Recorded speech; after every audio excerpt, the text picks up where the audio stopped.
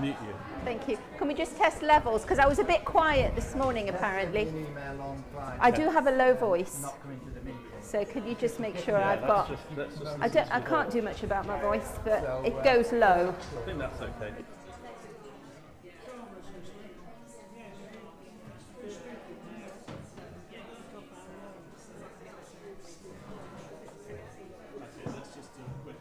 Hello?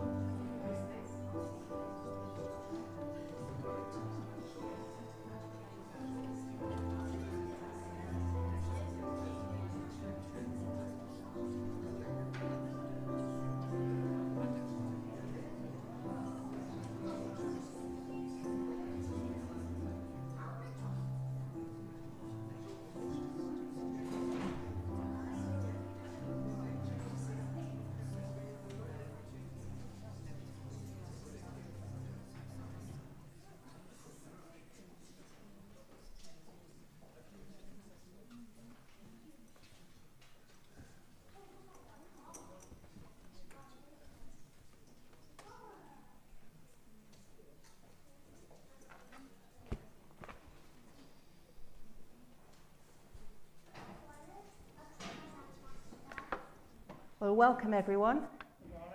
Those of you who are used to coming here and those of you who are visiting. It's lovely to see you all and welcome to everyone watching online. Now, who watched the Champions League final last night? Anybody watch it? Well, they, there was a quote afterwards. Obviously, it was a great match. But afterwards, one of the commentators said, Manchester United have entered the promised land. Sorry. Thank you. Everybody needs, everybody needs a husband in the congregation. You see, I, I was hoping, I'm hoping that next year it's Newcastle, but there we are. I give away my, my allegiance. But Manchester City have entered the promised land. That's what he said. And I thought he gave me my opening for today because we are going to go to the promised land. We're going to go in Joshua, we're going to think about the promised land and what that means biblically, historically, but also for us today. And so let's gather as we think about the promised land this morning, which is much better even than Manchester City winning the Champions League, even though that's amazing. We enter the promised land in truth. So let's stand as we gather together for worship and say together, Grace, mercy, and peace from God our Father and the Lord Jesus Christ be with you, and also with you. Let's stand for our first hymn, which is In Christ Alone.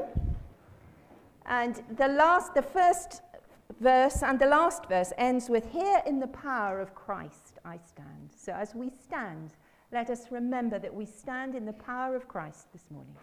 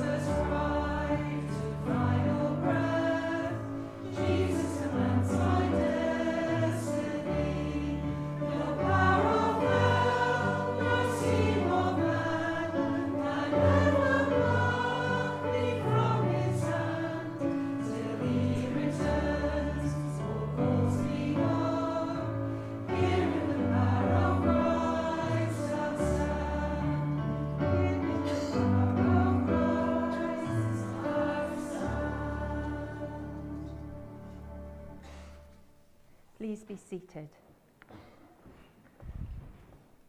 Now, I don't know what kind of week you've had. You might have sailed through it without any hitch. You might have faced obstacles. You might have lost your temper.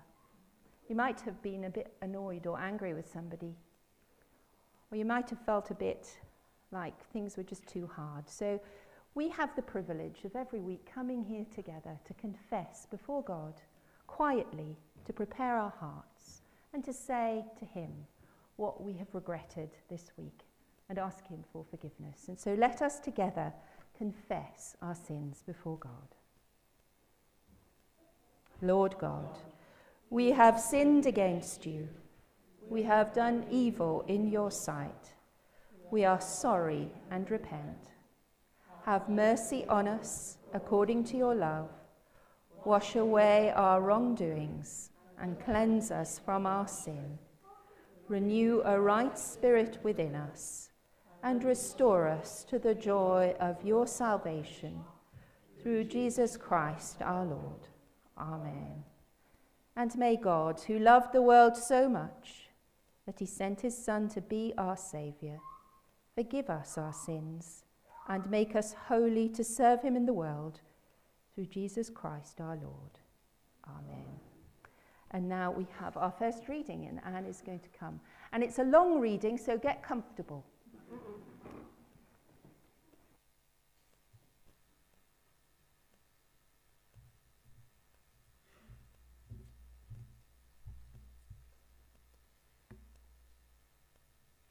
So, for our first reading, it's taken from the book of Joshua, chapter 1, and then it's uh, chapter 24, the final verses from 29. Joshua installed as leader. After the death of Moses, the servant of the Lord, the Lord said to Joshua, son of Nun, Moses' aide, Moses, my servant, is dead. Now then, you and all these people, get ready to cross the Jordan River into the land I'm about to give them, to the Israelites. I will give you every place where you set your foot, as I promised Moses. Your territory will extend from the desert to Lebanon, and from the great river, the Euphrates, all the Hittite country to the Mediterranean Sea in the west. No one will be able to stand against you all the days of your life. As I was with Moses, so I will be with you. I will never leave you nor forsake you. Be strong and courageous, because you will lead these people to inherit the land I swore to their ancestors to give them. Be strong and very courageous. Be careful to obey all the law my servant Moses gave you. Do not turn from it to the right or to the left that you may be successful wherever you go. Keep this book of the law always on your lips. Meditate on it day and night, so that you may be careful to do everything written in it.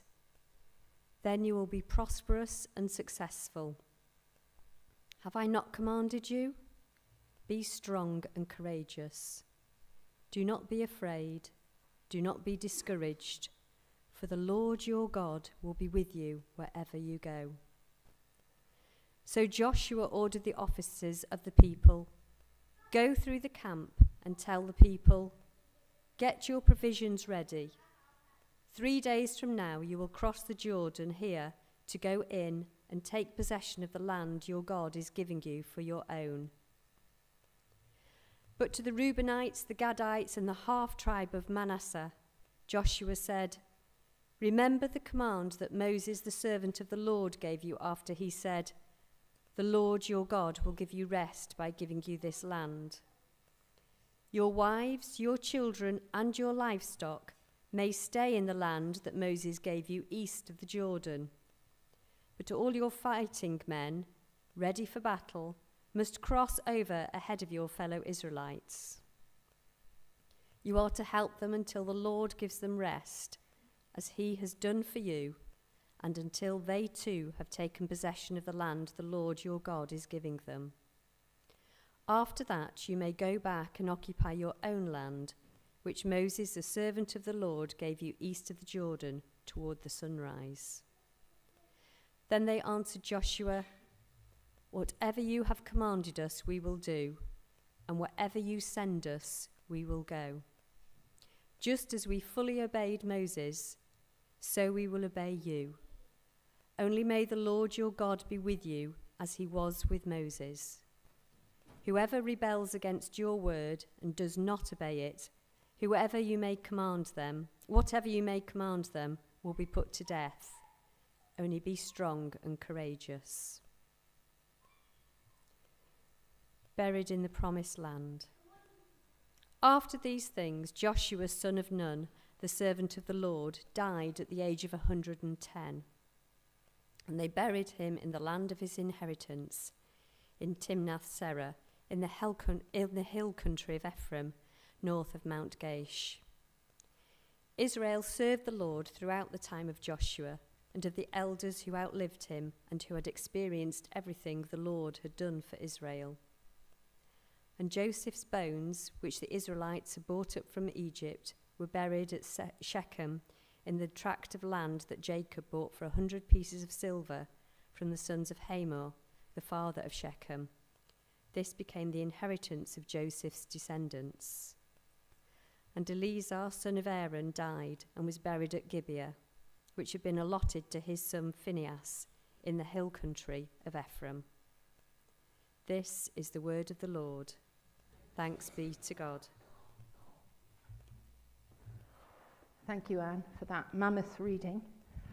Uh, we're now going to have a song which everybody's going to have to join in, and we have got to do the actions. And after this song, the children will go out for junior church. So stand up and let's kind of get ourselves ready. And we're going to sing Be Bold. If we could have the words up on the screen. so when we say be bold, I want you to imagine you're holding a spear and you go, Be bold like this. So be bold, and then be strong. This, be strong, for the Lord your God is with you. And then be bold, be strong, for the Lord your God is with you. Then, I am not afraid. And then when we say that, we go, no, no, no. Can we practice? No, no, no. I am not dismayed. Not, not me.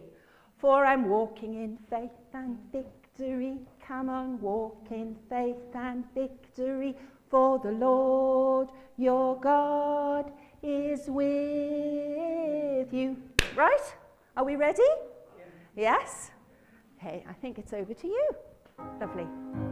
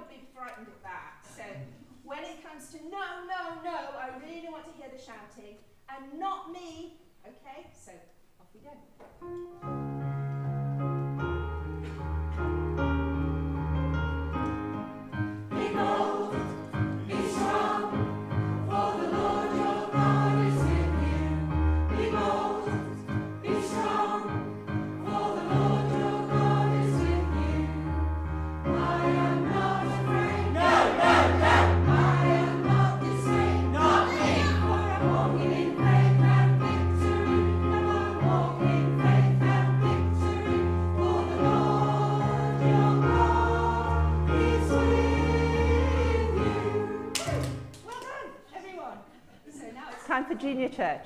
So let me pray as you, as you go.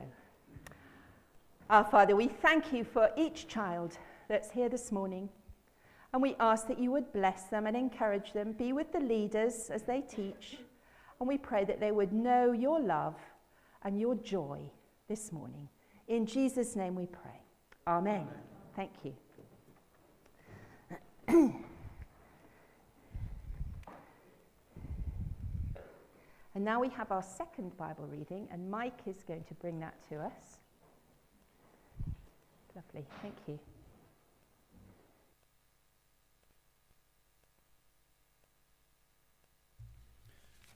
Our second reading is from Matthew chapter 9, verses 9 to 13, and then on to verses 18 to 26. The calling of Matthew. As Jesus went from, on from there, he saw a man named Matthew sitting at the tax collector's booth. Follow me, he told him, and Matthew got up and followed him. While Jesus was having dinner at Matthew's house, Many tax collectors and sinners came and ate with him and his disciples. When the Pharisees saw this, they asked his disciples, Why does your teacher eat with tax collectors and sinners? On hearing this, Jesus said, It is not the healthy who need a doctor, but the sick. But go and learn what this means. I desire mercy, not sacrifice, for I have not come to call the righteous, but the sinners. Jesus raises a dead girl and heals a sick woman. While he was saying this, a synagogue leader came and knelt before him and said, My daughter has just died, but come and put your hand on her and she will live. Jesus got up and went with him, and so did his disciples. Then a woman who had been the subject of bleeding for twelve years came up behind him and touched the edge of his cloak. She said to herself, if I only touch his cloak, I will be healed. Jesus ta- turned and saw her. Take heart, daughter, he said, Your faith has healed you. And the woman was healed at that moment. When Jesus entered the synagogue leader's house and saw the noisy crowd and people playing pipes, he said, Go away. The girl is not dead, but asleep. But they laughed at him. After the crowd had been put outside, he went in and took the girl by the hand, and she got up. News of this spread through all that region. this is the word of the Lord.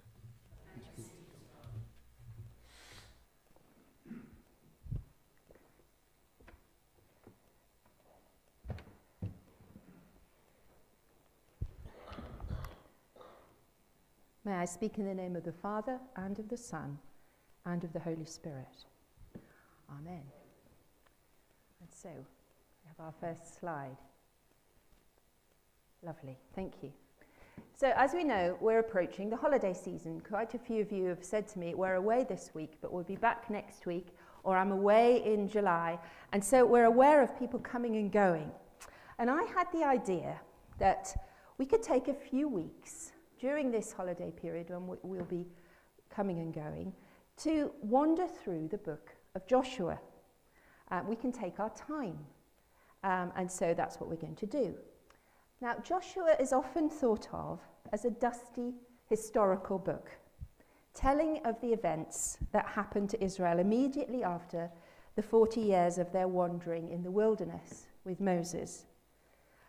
But it's important to remember that Joshua was not written just to inform us of the past. It was written to encourage us to trust in a faithful God who keeps his promises and to urge us to take hold of what God has already given us. And so this book is also prophetic and it should be read with the question in the back of our minds what is God saying to us today? However, it does help to have a bit of historical context, and so here goes. I won't go on too long.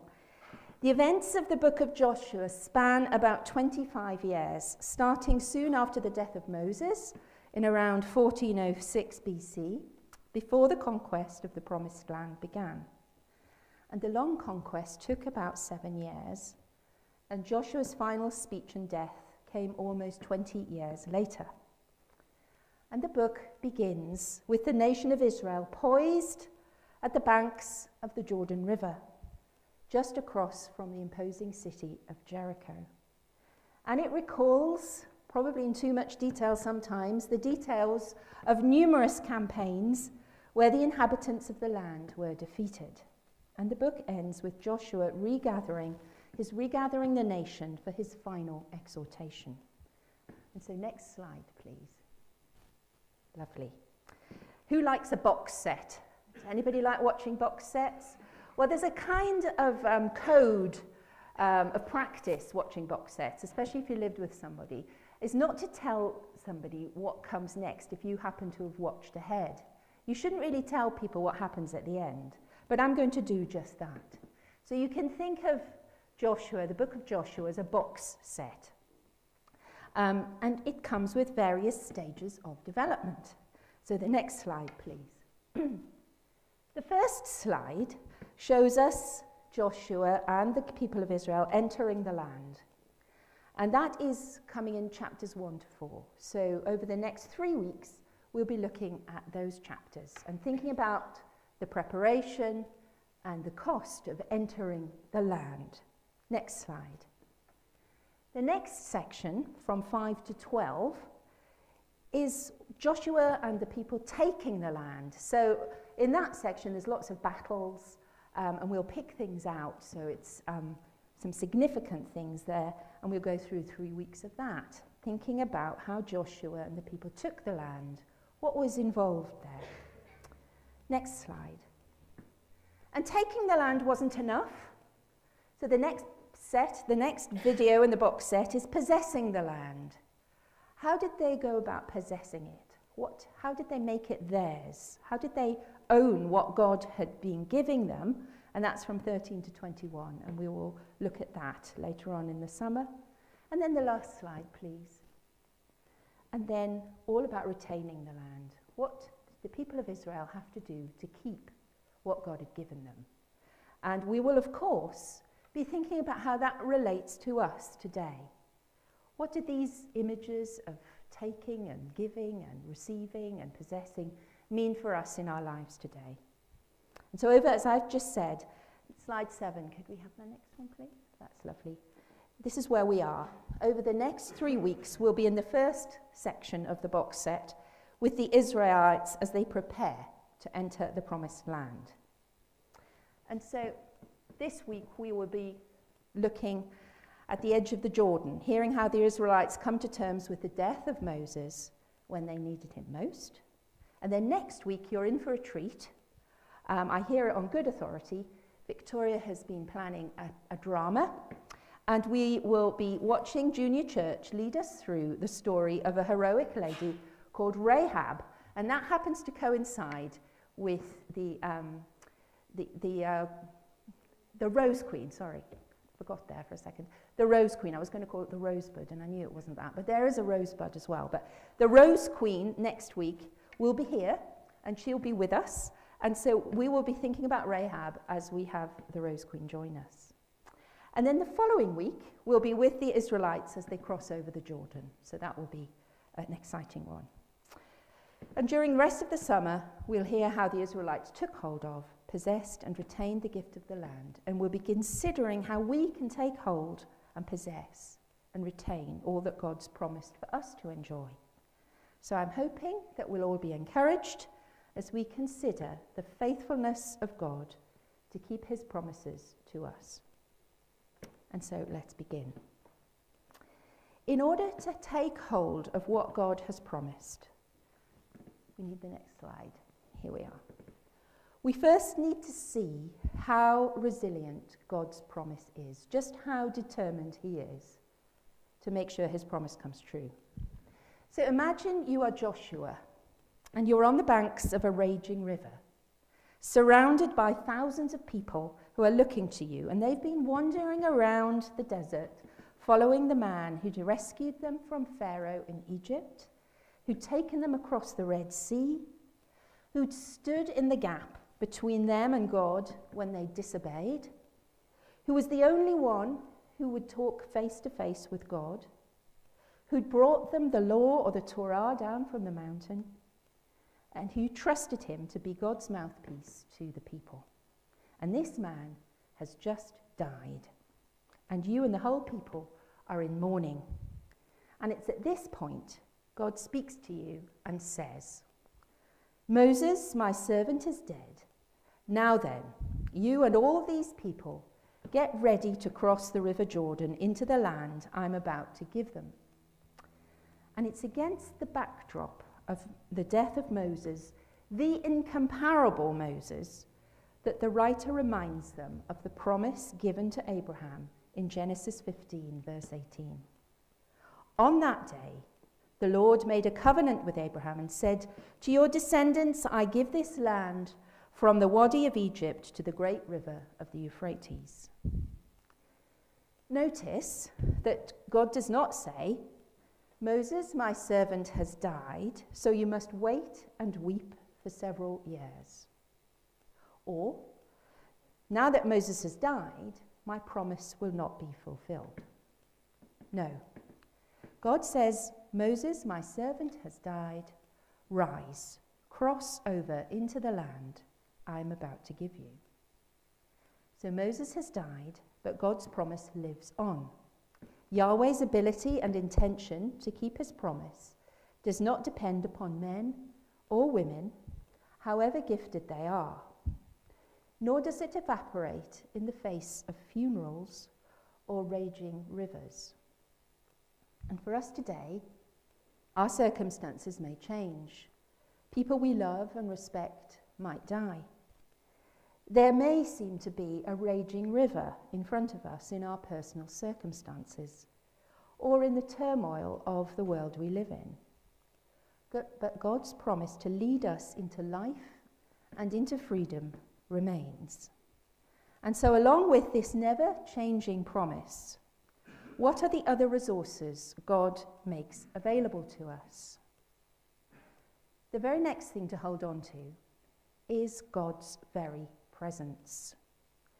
God has confidence that he can deliver on his promise, but he's very aware of what we are made. He knows of what we're made.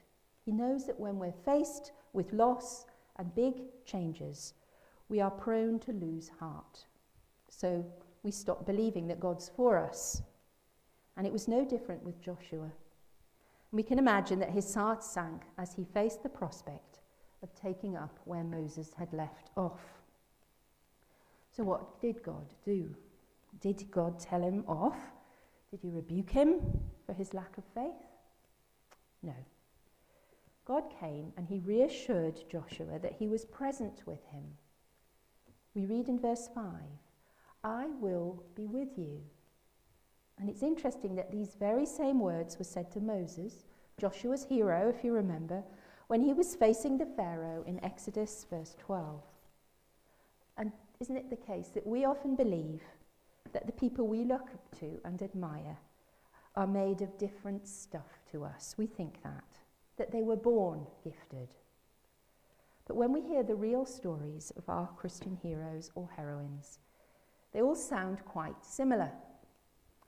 Most of them have had to overcome self doubt and nerves and be reassured by God's presence before they could start to do anything out of their comfort zone. So it's this reassurance of God's presence that we're looking for. And the same pattern is here. Moses, the hero, had died, but the same God lives on and gives the same reassurance of his continued presence to Joshua. And this is the only reason why God can encourage Joshua to be strong and bold, because he knows that he will be with him. In verse 6 and 7 and 9, I will be with you. God will be the one who will go before Joshua. God will be the one who helps them to enter the promised land. And Joshua is not told to grit his teeth and find his own strength from within. He is to be strong only because he trusts that God will be with him. And so, this assurance of God's presence will keep coming back throughout the book of Joshua. And we see this same promise being repeated in the early church in the letter to the Hebrews, chapter 13. Keep your life free from the love of money and be content with what you have, for he has said, I will never leave you nor forsake you. Hence, we can confidently say, The Lord is my helper. I will not be afraid. What can man do to me? So, isn't it amazing that the promises made to Moses and to Joshua are also being said to us I will be with you, I will not forsake you. What's the next resource? We have God's Word, and we read in verse 7 to 8. We are to be careful to do what the Lord has instructed us. The Israelites had a daunting prospect before them, but this wasn't an excuse to neglect the study of God's Word. And even though they were preparing for battle, or maybe you could say, especially because they were preparing for battle, they were encouraged to meditate on God's law day and night so they would be careful to do what was written. So, constant, careful absorbing of the Word of God leads to a desire and then the obedience to do it. And the command is given specifically to Joshua as the leader of God's people, but it includes everyone. So, life living freely in the kingdom of God, in the promised land, does not arise from gimmicks. And just like some of us who are trying to lose weight, there's no shortcut or special pill we can take. Only our freedom to live in the promise of God comes from the word of God that's already been spoken and from obedience to that word. And I know for myself that stress will sometimes try to rob us of the desire to read God's word for ourselves. But I reassure you, time and again, as soon as we go back to it, there we find the encouragement, the courage, and the peace that we've been looking for everywhere else. Fourth resource this is God's people. If you look around, the passage is telling us about how important unity between the Israelites was if they were going to succeed. They needed to see that all the battles, um, that they were in all the battles together. And so the section from 12 to 18 is referring back to a time when in Numbers 32, the tribes of the Reubenites, the Gadites, and the half tribe of Manasseh had requested that Moses assign them the land to the east of the Jordan when they reached the promised land. Well, this could be seen as disloyal and splitting up of the whole people of God and to, into those who would not have to cross the river and those who would have to be brave enough to cross the river and deal with then what they found. But although God did intend for those tribes to have the land that they'd requested, he commanded the men to show unity and cross with the rest of the men over the Jordan and be ready for battle. And after that, they'd be able to go back and occupy their own land. So we can here see here some implications for the practice of the church. Unity amongst God's people isn't a luxury, and we need to care enough so that others amongst us don't get discouraged. We need to think about what we're doing. Will this discourage others? And in Hebrews 10, verse 25, we read that we're not to give up meeting together, but to encourage one another. We are part of the body of Christ, and if one part hurts, so does the rest. And if one part rejoices, then again, so do we all. And that is an incredible strength that we have available to us as members of the body of Christ.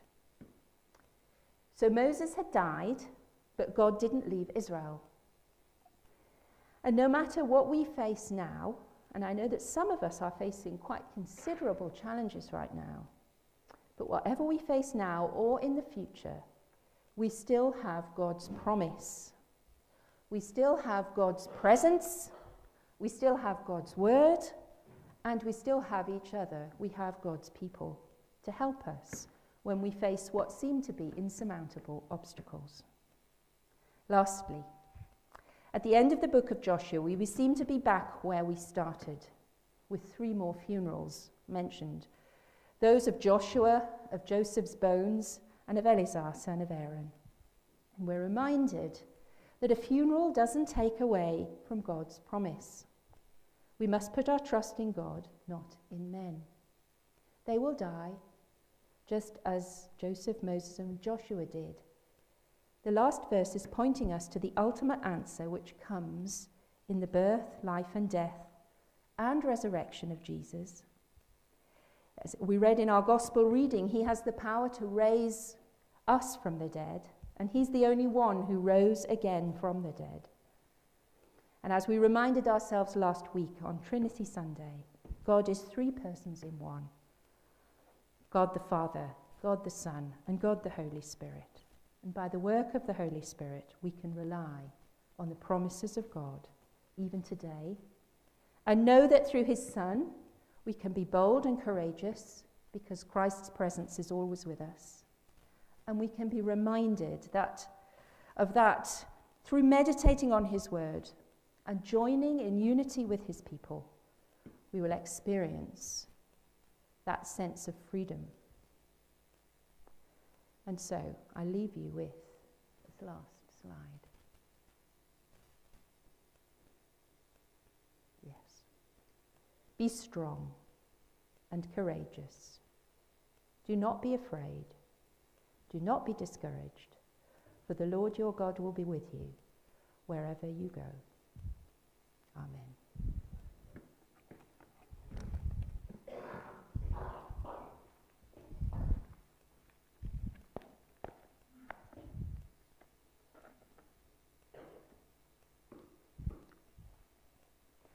So we're going to sing a hymn now that isn't in your books, and some of you will know it, and some of you won't. But it's a beautiful hymn, and it's worth us learning.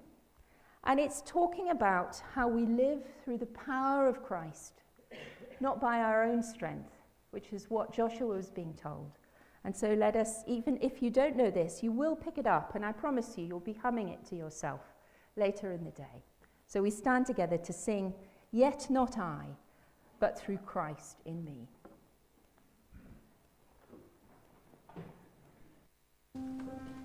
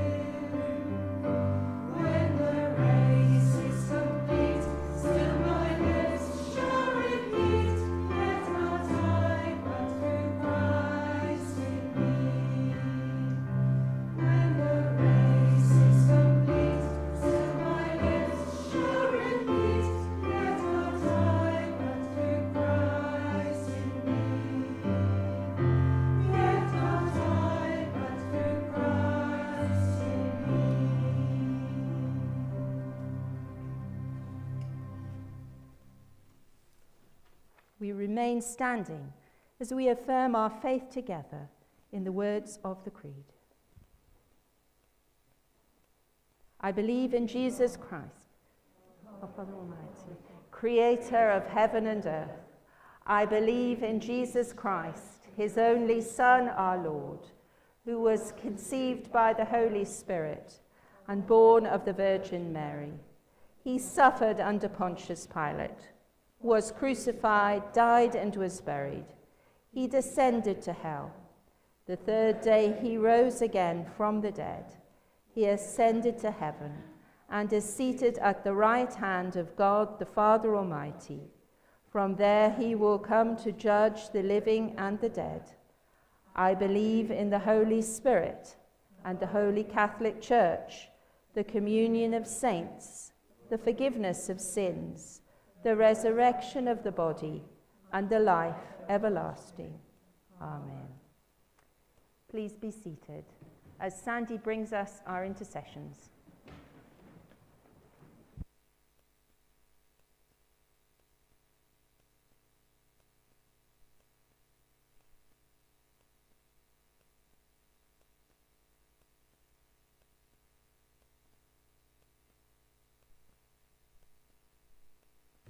Let us pray.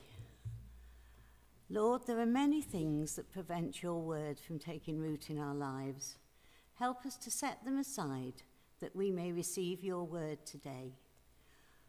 Lord, we live in a world of change and every day is filled with uncertainty.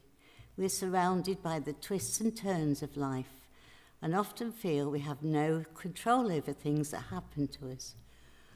Lord, we come to stand in your eternal presence, to come to find ourselves to find our way, to find hope. We come to you because in Christ you came, you first came to us. Thank you, God, that you are always there and never change. Your love sustains us. We praise you for Jesus Christ, who through his life, death, and resurrection has shown us the full measure of your love that will never be defeated. We praise you for coming into our world to be with us, sharing our suffering and pain. We pray that we can be filled with love for you as we try and understand the mystery and power of Jesus' death and resurrection and help us to feel its power in our lives. Amen. Lord, we bring before you all those who are in need, for those who are ill, and for those who care for them. We pray for the medical profession as they use their skills to heal the sick in mind and body.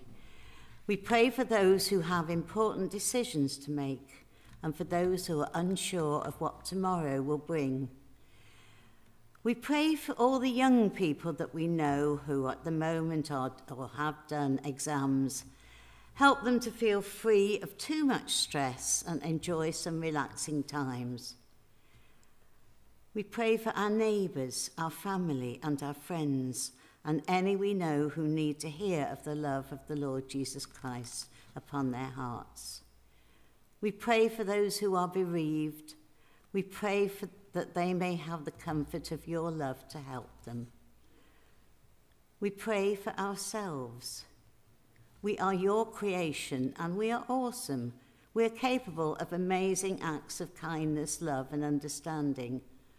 When bad things happen, we see the goodness as beacons of light in the darkness. Yet we know also our need for your healing, forgiving, and transforming grace. We ask you to touch our hearts with your love, our lives with your grace, and our lips with your truth.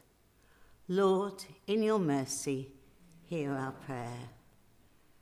We pray in the quietness of our own hearts for any that we know in need of God's loving presence and his healing grace.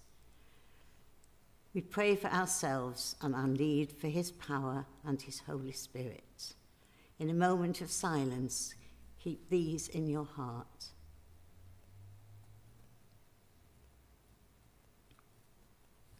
Lord, in your mercy, hear our prayer. We pray for Christians in the world who live in fear of their lives and livelihoods just for loving you. We pray for the people suffering because of the war in Ukraine. We especially think of those that are suffering as a result of the dam breach with devastating flooding. We pray for all the displaced people in the world who've had to flee their homes.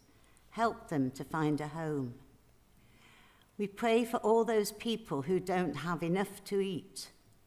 Lord, help to make our world a fairer place. We pray for those who are without shelter and food because of natural disasters. And we pray for world leaders that they will have wisdom in their judgments, restraint in their actions, and love and peace in their hearts. Amen. We pray for all those with a mission to spread the gospel throughout the world.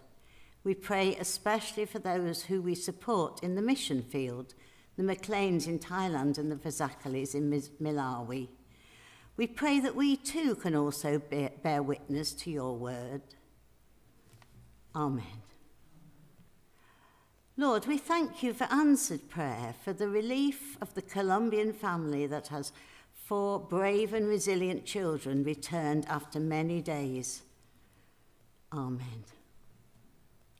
Lord, in the quietness, touch our lives and hold us fast. Lord, in the stillness, share our hurt and our sense of aloneness. Lord, in our weakness, be a strength for us. Lord, in our darkness, be our light and our hope. Lord, in our doubts, be our Saviour and friend. Lord, in our lives, be our reason for living. Lord, be our sense of life and our fulfillment and joy. Lord, be the meaning of our service and our obedience. Lord, be at the heart of our worship and celebration.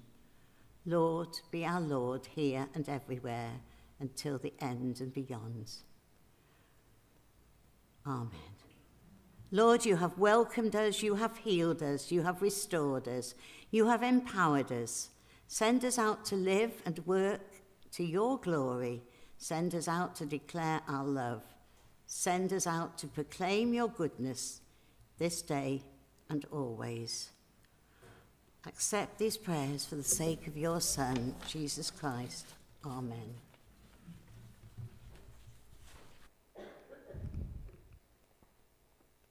Thank you, Sandy.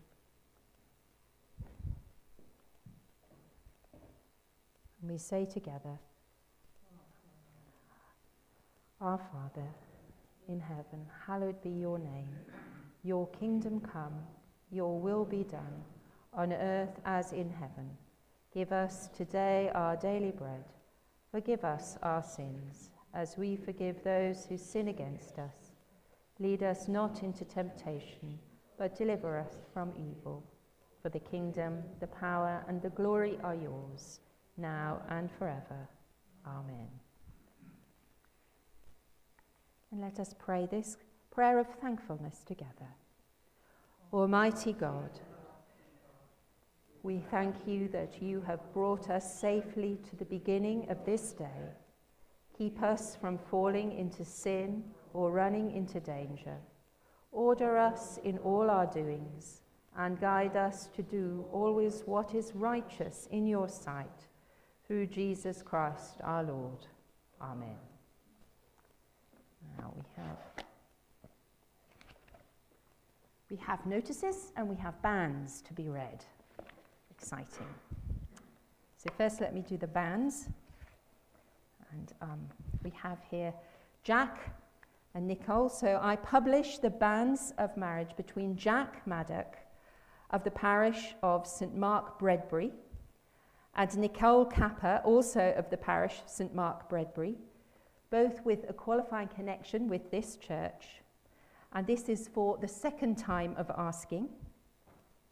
I also publish the banns of marriage between Frederick David Burrow of the parish of St James Congleton and Emily Philomena Ray, also of the parish of St James Congleton, both of whom have a qualifying connection with this church, and this is also for the second time of asking. If any of you know any reason in law why these persons may not marry each other, you are to declare it now. Lovely. And let, let us pray for them now. Father, we thank you for the excitement, the joy of the approaching weddings for Michael and Sylvia and Jack and Nicole, for Frederick and Emily. We thank you that they have come here to make their vows before you. They will come and they will be in front of their family and friends to join themselves together in your love. And so we pray for them as they prepare for these events. Pray in all of the discussions and decisions, they won't lose sight of what's important, of their love for each other, and that they would be aware of your presence with them. We pray in Jesus' name. Amen. And so now we have some notices, and um, the first one is obviously about the Rose Queen Fete next week. Uh, this, is this is going to be a new thing for us. We don't know what's coming, but we know it's going to be fun. There's posters everywhere, and the excitement is mounting. Um, and I think that what we're being asked for is um, for donations of items for the Rose Queen hampers and raffle prizes. So if you've got anything that would be suitable, um, you could leave them at the back of church or hand them in at the school, and so they will be important for the raffle. Um, and please encourage friends and neighbours to come. Uh, so I think it's going to be a great event. And we're going to have the Rose Queen here in the service on Sunday. So that's going to be very special. Um, yes, now Angie is here and um, she's collecting uh, bags of things. Yes. Oh, yes, was that there? Yes.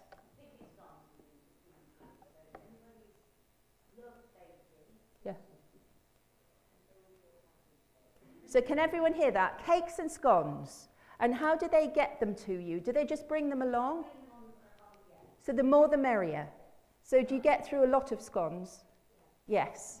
So we need scones really, and cakes, but is it cream teas that we're looking forward to? Oh, how wonderful. So yeah, I'll make some scones. And so yeah, anyone else who, who likes scones, please make them. Uh, that would be great. Um, yes, Emily's here.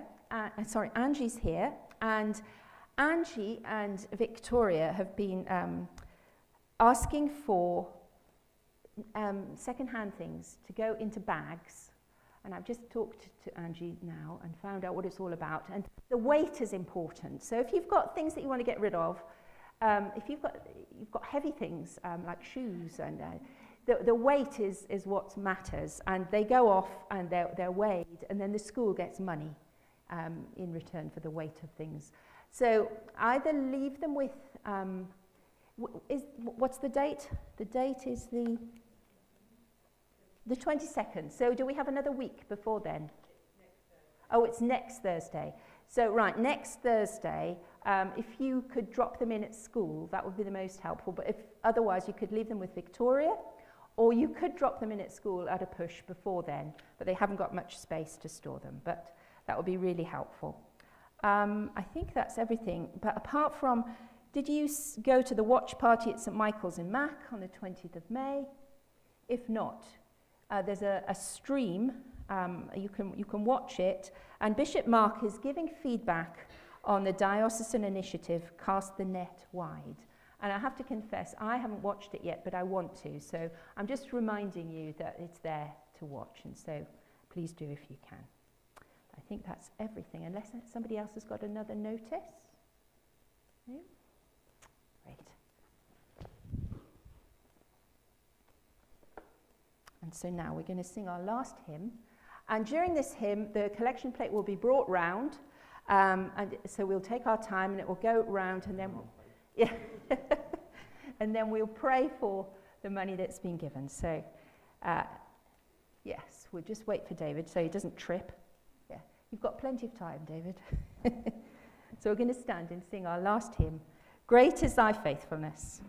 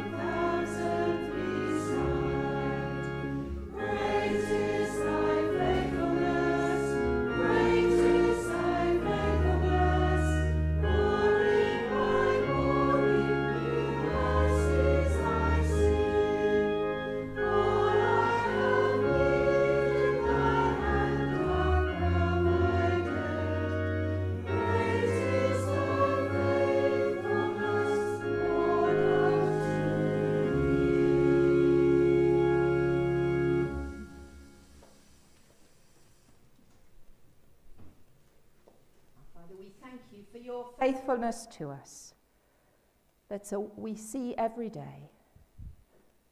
We thank you that we have been able to come this morning and to be reminded of the, your promise to us to lead us into freedom and into life.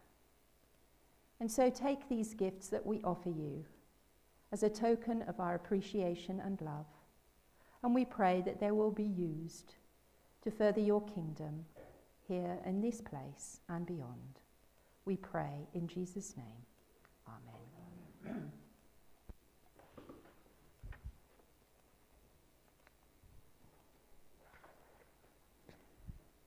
And so the blessing of the Lord God Almighty, the Father, the Son, and the Holy Spirit be with us and remain with us always. Amen. Go in peace to love and serve the Lord. the name of christ Amen.